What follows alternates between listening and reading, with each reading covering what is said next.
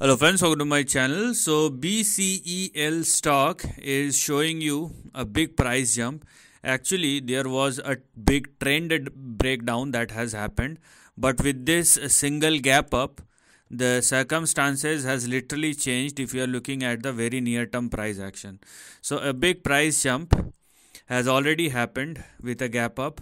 Now what we want is sustainability because what has happened with this price jump is regaining of your previous support. You can clearly see 0.19 and 0.20 were your previous support level and then we have seen a breakdown that has happened.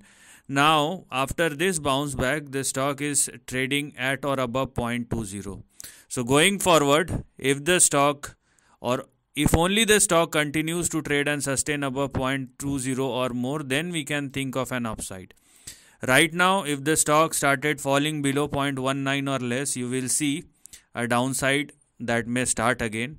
But if BCEL stock continues to trade and sustain above 0.20, what we can expect is a big trading swing and in which case the stock may swing up to 0.40 and an extension may happen where the stock may jump towards 0.66 as well.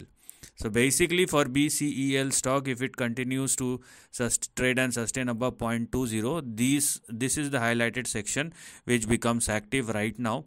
And the levels or the price move which you are going to see, obviously they are trading price move, which means you cannot expect them to hold and sustain. If it does, then it is fine, but there is no such guarantee for that. And please don't go below the support and the stop loss. So this is the end of the video. Thanks for watching.